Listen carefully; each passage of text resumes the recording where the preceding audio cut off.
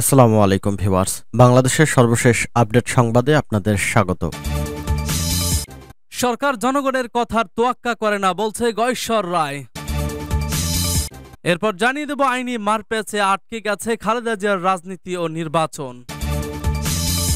জামায়াতের জেলা ও মহানগরী আমির সম্মেলন অনুষ্ঠিত। এরপর জানিয়ে দেব ঢাকায় বড় শোডাউন দিয়ে ইফতার রাজনীতিতে ঢুকবে বিএনপি।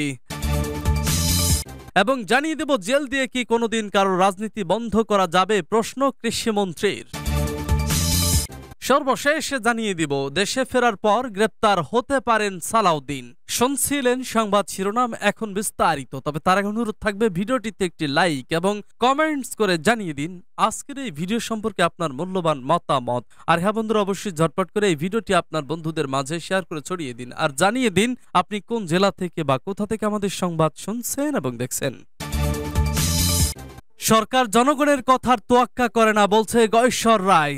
বিএনপির স্থায়ী কমিটির সদস্য গয়েশ্বর চন্দ্র রায় বলেছেন, ক্ষমতাসীন আওয়ামী লীগ সরকার জাতীয়তাবাদী নয়, দেশপ্রেমিক নয়, গণতান্ত্রিক নয়, যার কারণে এরা জনগণের কথার তোয়াক্কা করে না। শুক্রবার দুপুরে জাতীয় প্রেস ক্লাবের সামনে সড়কে BNP chairperson Begum Khaleda Zia, senior যুগ্ম মহাসচিব রুহুল কবির রিজভি সহ রাজবন্দীদের মুক্তির দাবি ও দলের স্বাস্থ্য বিষয়ক সম্পাদক ডাক্তার রফিকুল ইসলামের বিরুদ্ধে মিথ্যা মামলার প্রতিবাদে এক পেশাজীবী সমাবেশে তিনি এই মন্তব্য করেন।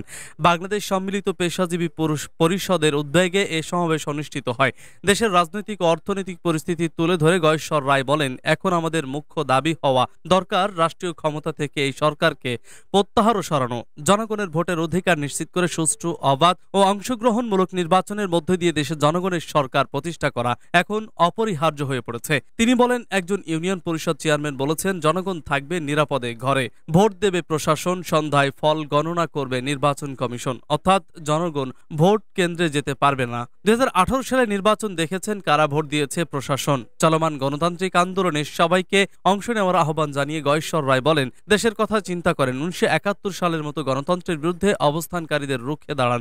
উনিশশো সালে গণতান্ত্রিক রাষ্ট্রের স্বপ্ন নিয়ে মুক্তিযুদ্ধ করেছি। গণতন্ত্রের জন্য আমরা এখন যুদ্ধ করছি। এই যুদ্ধে অংশগ্রহণ করবেন নাকি বিরোধিতা করবেন? অংশগ্রহণ করলে ভালো, না করলে উনিশশো একাত্তর সালের মতো রাজাকারের খাতায় নাম লেখাবেন। উনিশশো একাত্তর সালে শান্তি কমিটি গঠন করা হয়েছিল। উল্লেখ করে বিএনপির এই নেতা বলেন, এখন আওয়ামী লীগও আরেকটি শান্তি কমিটি গড়ছে। যেদিন আমরা কর্মসূচি করি, সেদিন ওই শান্তি কমিটিও কর্মসূচি দেয়। ওই শান্তি কমিটির চেয়ারম্যান হলেন ওবায়দুল কাদের। আমি বিশ্বাস করি, তিনি শান্তি কমিটির চেয়ারম্যান থেকে পদত্যাগ করবেন। কোনো কমিটি এ সরকারকে রক্ষা করতে পারবে না।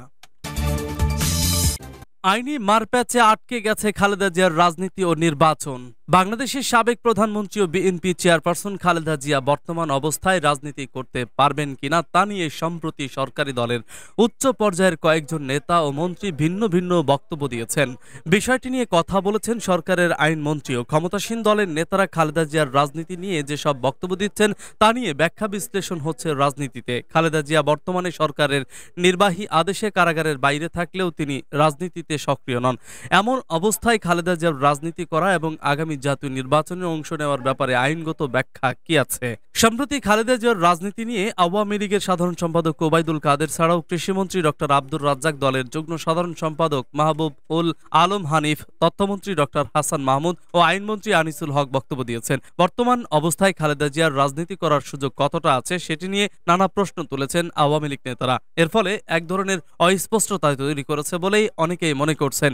আওয়ামী লীগ সাধারণ সম্পাদক ওবায়দুল কাদের প্রথম বক্তব্যে বলেন, শেখ হাসিনার উদারতার জন্য খালেদা জিয়া কারাগারে বাইরে আছেন। তিনি আরও বলেন, তিনি তো দণ্ডিত, তিনি কি মুক্তি পেয়েছেন? যেটুকু পেয়েছেন সেটুকু মানবিক কারণে। ও শেখ হাসিনার উদারতার জন্য পেয়েছেন। অসুস্থ না হলে তিনি থাকতেন কোথায়? কারাগারে ঠিক আছে, তাহলে রাজনীতির সুযোগ কোথায়? দণ্ডিত ব্যক্তির রাজনীতি করার সুযোগ কোথায়? বাংলাদেশের আইন অনুযায়ী দণ্ডিত ব্যক্তি কারাগারে থাকলে তার প্রকাশ্যে রাজনীতি করার সুযোগ নেই। কিন্তু খালেদা জিয়া তো এখন কারাগারের বাইরে আছেন। একই বিষয়ে আরেক বক্তব্যে ওবায়দুল কাদের বলেছেন, মুক্তির শর্ত মেনে তাকে জামায়াতের জেলা ও মহানগরী আমির সম্মেলন অনুষ্ঠিত। বাংলাদেশ জামায়াতে ইসলামের ভারপ্রাপ্ত আমির ও সাবেক এমপি অধ্যাপক মুজিবুর রহমানের সভাপতিত্বে জেলা ও মহানগরী আমির সম্মেলন অনুষ্ঠিত হয়েছে। শুক্রবার এ সম্মেলন অনুষ্ঠিত হয়। সম্মেলনে সরকার কর্তৃক পরিচালিত মামলা, হামলা, জুলুম, নির্যাতন ও গ্রেপ্তার অভিযানের নিন্দা ও প্রতিবাদ জানিয়ে নিম্নোক্ত প্রস্তাব গৃহীত হয়। জামায়াতে ইসলামীর জেলা ও মহানগরী আমির সম্মেলন মনে করে যে বর্তমানে দেশে গণতন্ত্র পুনরুদ্ধার ও মানুষের অধিকার প্রতিষ্ঠার আন্দোলন দিনের পর দিন বেগমান হচ্ছে। এই আন্দোলন শান্তিপূর্ণভাবে বাস্তবায়নের লক্ষ্যে আজ গোটা জাতি ঐক্যবদ্ধ হয়েছে এবং স্বতঃস্ফূর্তভাবে মাঠে নেমেছে। কিন্তু আওয়ামী সরকার সংবিধান স্বীকৃত এই গণতান্ত্রিক আন্দোলন স্তব্ধ করে দেওয়ার জন্য সারা দেশে গণতন্ত্রকামী ও শান্তিপ্রিয় মানুষের ওপর মামলা, হামলা, জুলুম, নির্যাতন ও গণগ্রেপ্তার অভিযান চালাচ্ছে। সরকার শান্তিপ্রিয় মানুষের কণ্ঠ রোধ করার জন্য নির্যাতনের পথ বেছে নিয়েছে। সরকারের কতিপয় অতি উৎসাহী আইন শৃঙ্খলা বাহিনীর সদস্য এসব শান্তিপূর্ণ মিছিলে গুলি ও হামলা চালিয়ে বিরোধী দলের নেতাকর্মীকে আহত করেছে এবং গ্রেপ্তার করে তাদের বিরুদ্ধে হয়রানিমূলক মামলা করেছে। গত চোদ্দ বছরের শাসন আমলে সারা দেশে জামায়াতে ইসলামী ও ইসলামী ছাত্র শিবিরের লক্ষ লক্ষ নেতাকর্মীর বিরুদ্ধে মিথ্যা মামলা করা হয়েছে। শত শত নেতাকর্মীকে পঙ্গু করে দেওয়া হয়েছে। জেল জুলুম ও নির্যাতনের শিকার হয়েছেন হাজার হাজার নেতাকর্মী।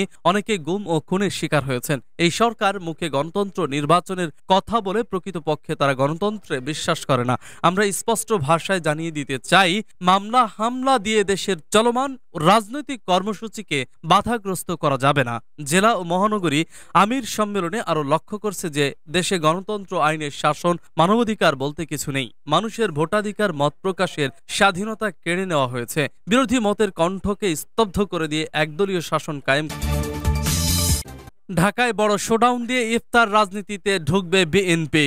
আসন্ন রমজান পর্যন্ত পদযাত্রা কর্মসূচির মধ্যে সীমাবদ্ধ থাকবে বিএনপির চলমান যুগপথ আন্দোলন। তবে রমজান মাসে ইফতার রাজনীতি ও সাংগঠনিক কার্যক্রমে যাওয়ার আগে ঢাকায় বড় কর্মসূচির মাধ্যমে শোডাউন করার পরিকল্পনা রয়েছে দলটির। কিন্তু এক্ষেত্রে সংঘাত এড়িয়ে শান্তিপূর্ণভাবে এ কর্মসূচি পালন করতে চায় তারা। বিএনপির নেতারা বলছেন, আগামী চব্বিশ তারিখ থেকে রমজান শুরু হওয়ার কথা রয়েছে। রমজানের আগে আরও দুই থেকে তিনটি মাঠ কর্মসূচি পালন করার সুযোগ থাকবে। এরপর রমজানে নিয়মতান্ত্রিক ইফতার, রাজনীতি ও সাংগঠনিক কার্যক্রমে চলে যেতে হবে। তাই আগামী চার মার্চ দেশের সব মহানগরে পদযাত্রা কর্মসূচির পরে আবারও ইউনিয়ন পর্যায়ে পদযাত্রা কর্মসূচি দেওয়া হতে পারে। তবে রমজানের আগে আগামী আঠারো অথবা বিশ মার্চ ঢাকায় বড় ধরনের কর্মসূচি পালন করা হবে। সেই কর্মসূচিতে সর্বোচ্চ জনসমাগম ঘটিয়ে বড় শোডাউন করার পরিকল্পনা রয়েছে।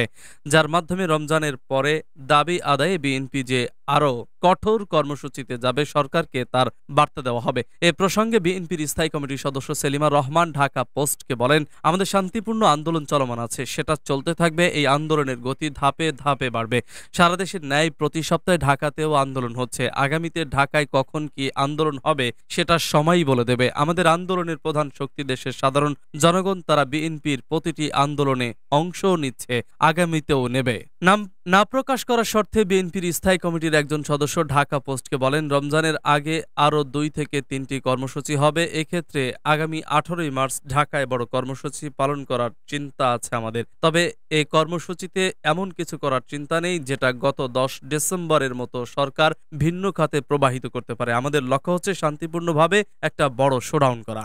দলটির নেতারা বলছেন, আগামী সংসদ নির্বাচনের আগে এটাই শেষ রমজান। তাই এবারের রমজান জেল দিয়ে কি কোনোদিন কারও রাজনীতি বন্ধ করা যাবে? প্রশ্ন কৃষিমন্ত্রীর। বিএনপি নেত্রী খালেদা জিয়ার রাজনীতি করতে পারবেন বলে আগে যে বক্তব্য দিয়েছেন, সেই বক্তব্যে অনর কৃষিমন্ত্রী ডক্টর মোহাম্মদ আব্দুর রাজ্জাক আবারও প্রশ্ন ছুড়ে দিয়ে বলেছেন, জেল দিয়ে কি কোনোদিন কারও রাজনীতি বন্ধ করা যাবে? বৃহস্পতিবার সাংবাদিকদের এক প্রশ্নের জবাবে তিনি একথা বলেন। সাংবাদিকরা মন্ত্রীদের সাম্প্রতিক মন্তব্যের উল্লেখ করে প্রশ্ন করলে কৃষিমন্ত্রী বলেন, রাজনীতির বিষয়টি বুঝতে হবে। আইনি যাই থাক। ইমরানের, ইরানের খমিনীর রাজনীতি কি বন্ধ ছিল? বঙ্গবন্ধু জেলে থেকে রাজনীতি করেছেন না। এছাড়া কনভিকশন দণ্ডিত হয়নি। কনভিকশন হলেই কি বঙ্গবন্ধু রাজনীতি বন্ধ করে দিতেন? আমি সেই জায়গা থেকে বলেছি, জেলে বসেও তো রাজনীতি করা যায়। আমি সে, আমি তো সেই কথাটি আপনাদের বলেছিলাম। আবারও বলছি, বৃহস্পতিবার নেদারল্যান্ডসের বৈদেশিক বাণিজ্য উন্নয়ন সহযোগিতা বিষয়ক সংসদীয় কমিটির ভাইস চেয়ারম্যান ও সংসদ সদস্য পিম ভ্যান স্ট্রেনিয়নের নেতৃত্বে প্রতিনিধি দলের সাথে বৈঠকের পর সাংবাদিকদের প্রশ্নের জবাবে মন্ত্রী খালেদা জিয়ার রাজনীতি করা নিয়ে ফের বক্তব্য দেন। তিনি বলেন সারা পৃথিবীতে তো বিদ্রোহী ও বিপ্লবীরা এভাবেই রাজনীতি করেছেন। খালেদা জিয়া ইলেকশনে যেতে পারবেন না আইনের কারণে। কিন্তু তার রাজনীতির চিন্তা চেতনা এগুলো কি তারা বন্ধ করে দেবে নাকি যে আমি রাজনীতি করব না? কিন্তু আপনারা মন্ত্রিসভার সদস্যরা একমত হতে পারছেন না কেন? প্রশ্ন করলে কিছুক্ষণ চুপ করে থাকেন আব্দুর রাজ্জাক। এরপর তিনি বলেন, ক্যাবিনেট কলিগরা বলছেন, কীভাবে? আমি ওনাদের সাথে কথা বলিনি। কি বলেছেন? আমাকে যদি কোনো কারণে জেল দেয়, লালু প্রাসাদ কি রাজনীতি বন্ধ করেছেন? আমাদের ওবায়দুল কাদের সাহেবও তো বলেছেন, সে নির্বাচন করতে পারবেন না। আইন অনুযায়ী সংবিধানে আছে দু বছরের বেশি সাজা হলে নির্বাচন করা যাবে না, কিন্তু রাজনীতিটা আপনি বন্ধ করবেন কেমনে? সংসদে শেখ ফজলুল হক সেলিম বলেছেন, খালেদা জিয়ার রাজনীতি না করার জন্য মুসলেখা দিয়েছেন। এ বিষয়ে আব্দুর রাজ্জাক বলেন, এটা আমি জানি না। কোথায় মুসলেখা দিয়েছেন খালেদা জিয়া? একটা জানি যে তারেক জিয়া দিয়েছে, বিদেশে যাওয়ার আগে তত্ত্বাবধায়ক সরকারের কাছে সেই দিয়ে দিয়ে গেছে। খালেদা জিয়া তো এখনও নির্বাহী আদেশে মুক্ত আছেন। এ বিষয়ে দৃষ্টি আকর্ষণ করলে তিনি বলেন দেশে ফেরার পর গ্রেপ্তার হতে পারেন সালাউদ্দিন। অনুপ্রবেশের দায়ে ভারতে আটক বিএনপির স্থায়ী কমিটির সদস্য সালাউদ্দিন আহমেদ শিগগিরই দেশে ফিরবেন। দেশে ফেরার পর গ্রেপ্তারও হতে পারেন তিনি। পুরনো মামলা ও গ্রেপ্তারি পরোয়ানায় আইন শৃঙ্খলা রক্ষাকারী বাহিনী তাকে হেফাজতে নিতে পারে। সালাউদ্দিনের বিরুদ্ধে দেশে অন্তত পনেরোটি মামলা রয়েছে। ভারতের মেঘালয় রাজ্যের শিলং জজ আদালতের আপিলে যে রায় দেওয়া হয়েছে তার অনুলিপি আজ পাওয়ার কথা রয়েছে। এরপরই দেশে ফেরার প্রক্রিয়া শুরু হবে। গতকাল বৃহস্পতিবার বাংলাদেশ থেকে যোগাযোগ করা হলে বিএনপি নেতা সালাউদ্দিন আহমেদ সমকালকে বলেন, শুক্রবার রায়ের কপি পেতে পারি। সেটা আগে পাই, তারপর চিন্তা করব। এর আগে এ বিষয়ে আর কোনো কথা বলতে রাজি নই। পুলিশ সদর দপ্তরের ডিআইজি হায়দার আলী খান সমকালকে বলেন, যদি বাংলাদেশে সালাউদ্দিনের বিরুদ্ধে মামলা ও পরোয়ানা থাকে, তাহলে পুলিশ আইন অনুযায়ী ব্যবস্থা নেবে। এছাড়া ভারতের আদালতের রায়ের কোনো পর্যবেক্ষণ রয়েছে কিনা সেটাও দেখব। ভারতের আদালতের রায়ের পর কোনো প্রক্রিয়া সালাউদ্দিন দেশে ফিরবেন? এ ব্যাপারে জানতে চাইলে ইন্টারপোলের বাংলাদেশের শাখা ন্যাশনাল সেন্ট্রাল ব্যুরোর দায়িত্বশীল কর্মকর্তাকে একাধিকবার ফোন করেও পাওয়া যায়নি। গত মঙ্গলবার ভারতের শিলং জজ আদালতের রায় বলা হয়, অনুপ্রবেশের দায়ে ভারতে আটক বিএনপির স্থায়ী কমিটির সদস্য সালাউদ্দিন আহমেদের দেশে ফিরতে বাধা নেই। সর্বশেষ দুই সালে ছাব্বিশে অক্টোবর নিম্ন আদালতে তাকে বেগুসুর খালাস দেওয়া হয়। তবে ভারত সরকার আপিল করায় তিনি তখন দেশে ফিরে আসতে পারেননি। দীর্ঘ চার বছর পর জজ আদালত নিম্ন আদালতের রায় বহাল রেখে ভারত সরকারকে দ্রুত